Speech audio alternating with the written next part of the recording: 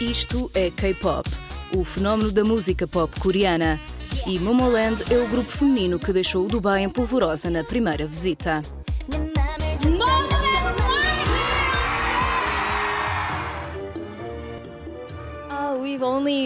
Nós só conhecíamos o Dubai pela televisão ou pelas revistas e foi uma experiência realmente fascinante. Aqui é tudo cheio de ritmo e bonito, a arquitetura especialmente. K-pop é um grande negócio que vale mais de 4.500 milhões de euros em todo o mundo. E Bomaland é a primeira banda feminina a alcançar platina por mais de 100 milhões de transmissões de Boom Boom. A ascensão da cultura K-pop aqui no Dubai está a ser vertiginosa.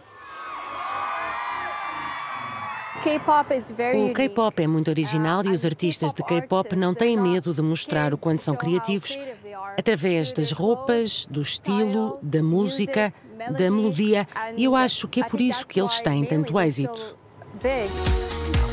A chegada do grupo ao aeroporto do Dubai atraiu ao local centenas de fãs entusiasmados. Numa questão de segundos, Momoland estava no Twitter.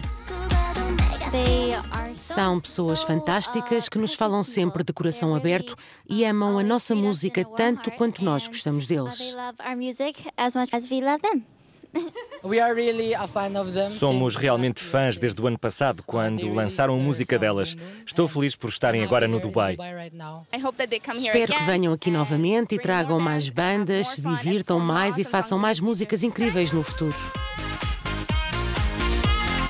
As jovens artistas também são vistas como um modelo para as mulheres, algo muito apreciado no Médio Oriente.